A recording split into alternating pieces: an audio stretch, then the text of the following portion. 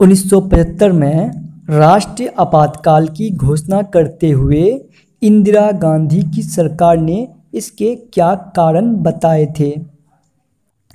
सरकार के अनुसार, चुनी हुई सरकार को लोकतंत्र में विपक्षी दल उसकी नीतियों के अनुसार शासन नहीं चलाने दे रहे थे।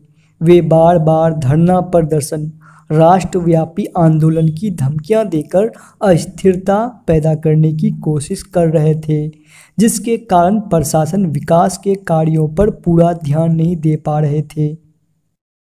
इंदिरा गांधी ने शाह आयोग को चिट्ठी में लिखा कि षड्यंत्रकारी ताकतें सरकार के प्रगतिशील कार्यों में अड़ंगे डाल रही है और मुझे गैर संवैधानिक संसाधनों के बुते सत्ता से हटाना चाहते हैं।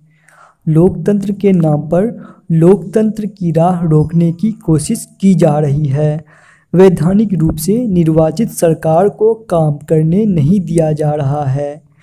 आंदोलन से माहौल सरगर्म है और इसके नतीजन हिंसक घटनाएँ हो रही है।